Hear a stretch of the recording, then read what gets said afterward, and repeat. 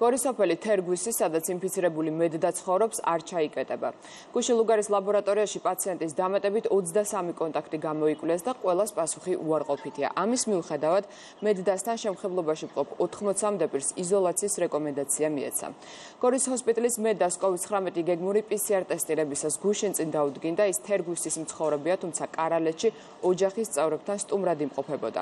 კონტაქტებისიდან გამომდინარე, სამი სოფლის თერგვისის, კარალეთის და ფლავ თავის შემოწმება გახდა აუცილებელი.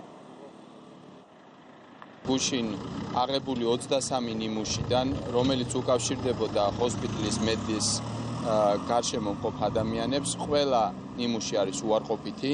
შესაბამისად, ამ დროისთვის დადასტურებული ახალი შემთხვევა არ გვაქვს რეგიონში.